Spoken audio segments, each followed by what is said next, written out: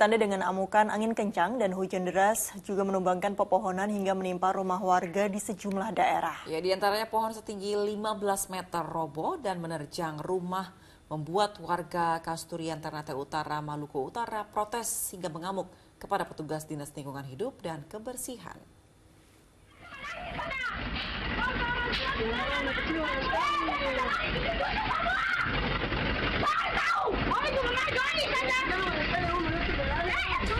Ini terus melayangkan protes dan amarahnya kepada petugas Dinas Lingkungan Hidup dan Kebersihan Kota Ternate.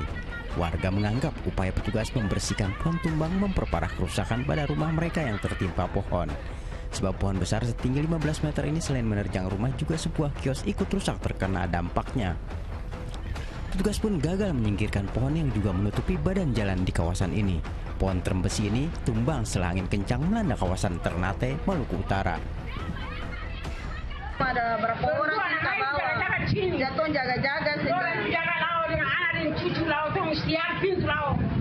Babunyi tong lari pengunjung injak untuk kesan lain termasuk dalam perigi. Sementara polisi dan petugas damkar berjibaku menyingkirkan batang pohon yang menghalangi jalan di daerah Gunung Sumping, Pelabuhan Ratu, Sukabumi, Jawa Barat. Dengan mesin, petugas memotong-motong batang pohon dan menyingkirkannya dari jalan raya agar lalu lintas kendaraan kembali normal. Pohon tumbang juga terjadi di Jalan Nasional Penghubung Kota Sukabumi menuju kawasan wisata, tepatnya di Bagbagan, Kabupaten Sukabumi. Petugas gabungan dari Satlantas maupun dari Satsabara dibantu dengan pemerintah daerah telah melakukan evakuasi untuk arus lalu lintas tidak kami alihkan, kita buka tutup karena masih bisa dilintasi. Polisi mengimbau warga agar tetap hati-hati dengan cuaca buruk yang masih terjadi.